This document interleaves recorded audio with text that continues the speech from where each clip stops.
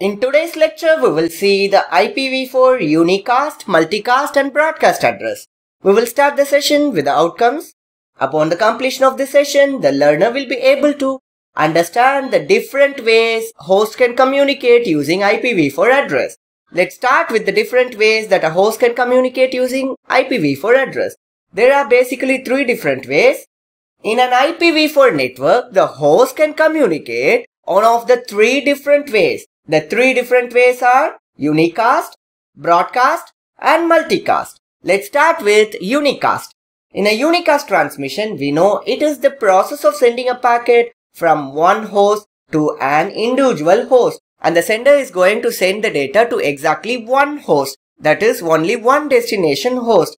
So in this example, let's say there is a source that is it is 172.16.4.1. So this is the source computer and this source computer is going to send the data to exactly one destination which is 172.16.4.253.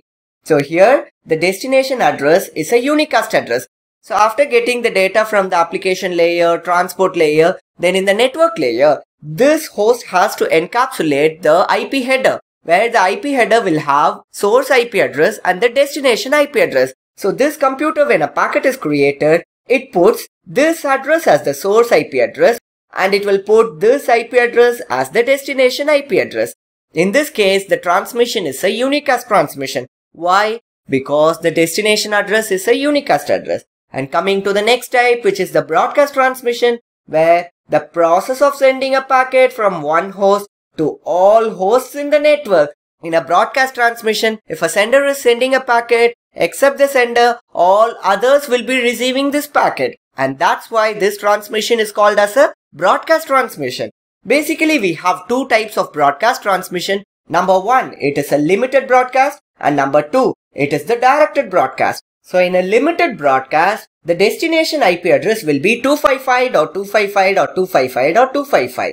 When a computer is sending this broadcast, everyone in this local area network will be receiving this broadcast, including the default gateway that is the router. But the router will not forward this broadcast anymore.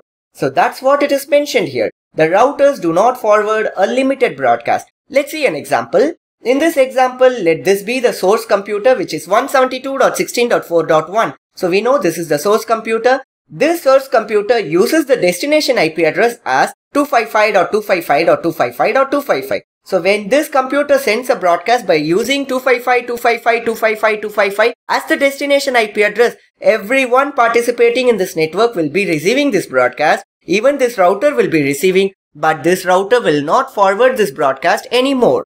And this is the limited broadcast. And coming to directed broadcast, this directed broadcast is depending upon the network. This is an example directed broadcast.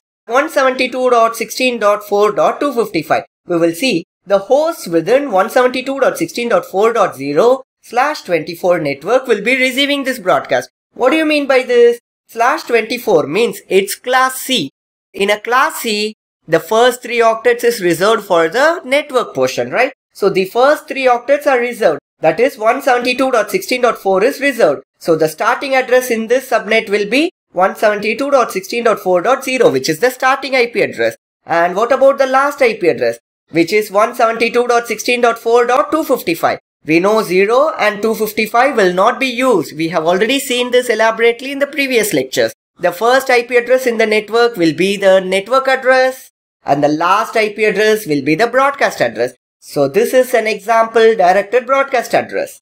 And coming to the last transmission which is the multicast transmission. We know in a multicast transmission, it is the process of sending a packet from one host to a selected group of hosts, possibly in different networks. It means it is not going to send the packet to all the participants. Rather, it is going to send this information to a group of participants or some selected participants. Broadcast always floods the network, whereas multicast transmissions reduces the traffic.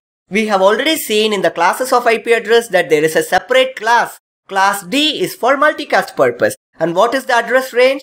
The multicast address range is from 224.0.0.0 to 239.255.255.255. So if the first octet is between 224 and 239, it is class D. Class D means it's multicast address. and I will give you an example link local multicast address from 224.0.0.0 to 224.0.0.255. Let's take there are two routers and these two routers has a link. These link local addresses are used for exchanging some specific information. For example, the routing information exchanged by routing protocol. Say if two routers are going to communicate with each other. So information about routing protocols are going to be exchanged between routers. So these addresses are used for that purpose. And that's why they are called as link local address. No worries if you are hearing this term first time here routing protocols, Anyway, we are going to deal with routing and routing protocols elaborately in this chapter. And we also have some globally scoped addresses which ranges from 224.0.1.0 to 238.255.255.255. For example, there is an exclusive IP address which is 224.0.1.1 has been reserved for NTP that is Network Time Protocol. Network time protocols are used to synchronize the clocks in the devices Say, if I go and manually assign the time in a device, then it will not be 100% accurate. Rather, if I place an NTP server, that is the network time protocol server, and if I ask all the devices in my network to talk to the NTP server and get or synchronize their clocks, so that will be accurate. So manual assignment of time will always be not 100% accurate. Automatic assignment of time or automatic synchronization of clocks in the devices that will be always advisable. So this is an example globally scoped addresses. I hope now you understood the different ways the host can communicate using IPv4 address. I hope you guys enjoyed the lecture and thank you for watching.